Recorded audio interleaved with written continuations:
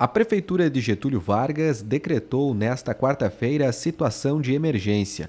O município no norte gaúcho foi atingido por uma forte chuva de granizo no início da madrugada. Segundo um levantamento da Defesa Civil, mais de 300 casas tiveram danos após a chuva e mais de 10 mil metros de lonas precisaram ser distribuídos pelo Corpo de Bombeiros. Uma noite triste a todos nós Sabemos e estamos fazendo o levantamento, nosso vice-prefeito Paz, o pessoal da Secretaria de Obras está nas ruas. Uma parte significativa do nosso município foi atingido por esse granizo, então nós pedimos a compreensão de todos. O momento agora é de se ajudar. Imagens postadas nas redes sociais mostram momentos de medo dos moradores.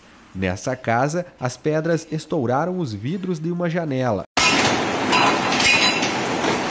Um caminhoneiro filmou a pista da RS 135 que passa pelo município e foi tomada pelo granizo. Na vizinha Erebango, onde mais de 50 casas foram atingidas, este morador mostrou a quantidade de pedras espalhadas pelo chão após o temporal.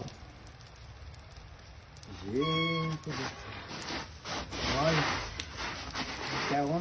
Segundo a Defesa Civil, em Erechim, maior cidade do Alto Uruguai, não foram registrados danos. A cidade também registrou chuva de granizo por volta da uma da manhã.